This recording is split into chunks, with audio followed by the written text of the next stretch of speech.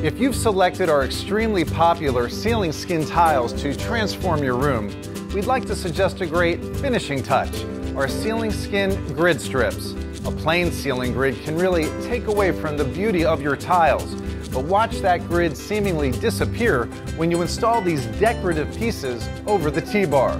They come in eye-catching designs and several custom colors to perfectly match your tiles, giving your entire ceiling a custom look.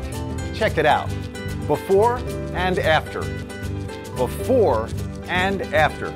See what a huge difference these grid strips make.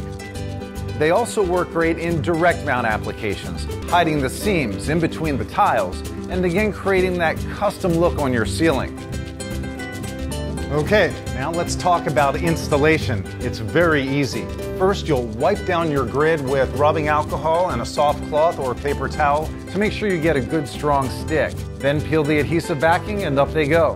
And if you need to resize any of your grid strips, all you need is some household scissors. To figure out how many grid strips you'll need for your project, remember that they're two feet long and come in bundles of 24. If your tile size is 2 by 2 you'll need one bundle for every 10 tiles your tile size is 2 by 4 it's one bundle for every six tiles. And remember, you can always call us or email us for additional help. So that's it. You're now ready to add that finishing touch to your ceiling skin tiles with our ceiling skin grid strips.